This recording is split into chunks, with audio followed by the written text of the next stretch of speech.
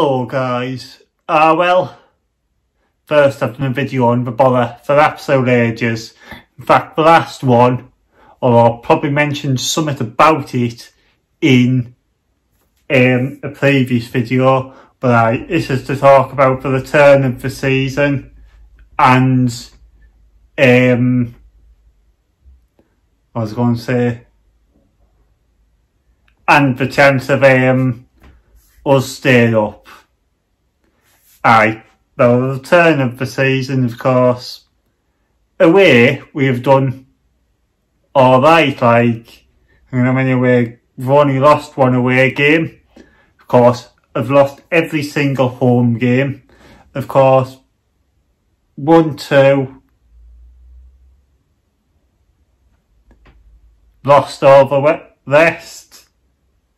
Um, know, they're in a fight for relegation. Of course, really late on. Do I think we'll stay up? Well, I think we could, and I think we might not as well.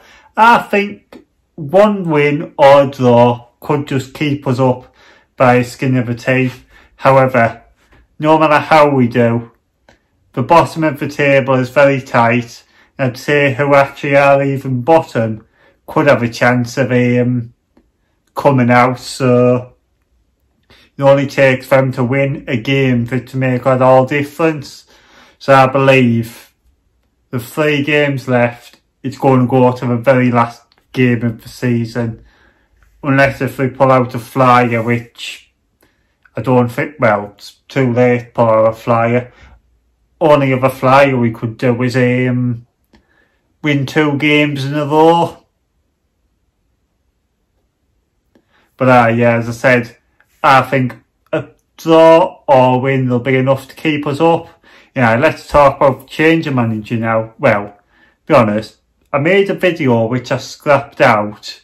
It was going to be in a vlog about me reaction when Warnock first came. Um, I wasn't impressed at first, but, well, would I say he plays ball and football? Be honest, yes and no, but unless it's the way I'm watching because basically all the games I've watched on that stream, I even did under one under the one under Woodgate, there's been a point where I've lost concentration or fell asleep. And um but I think that's just a story of our season. I remember Brentford winning March in no, February in the first half, and I turned and said to somebody, remember they used to slag Pulis off and play about playing ball and football? I said, isn't this boring football? Um, but be honest, I wouldn't say he plays as boring football as Pulis did. Although Pulis, I feel a bit harsh some things I said about him, particularly that time of the transfer window. Which talking of, of how we doing, we have more of it to blame on than managers. Like people who blame Woodgate, I wouldn't blame Woodgate for, for it. I'd blame it on some of what's been on the way for about three seasons. You know, if you've got any thoughts yourself as a Boro fan or as any football fan, leave your comments down below.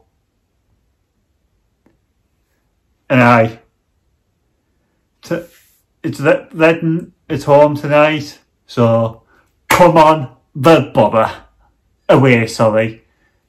Uh, well, thank you all for watching. Please drop a like, subscribe, and goodbye.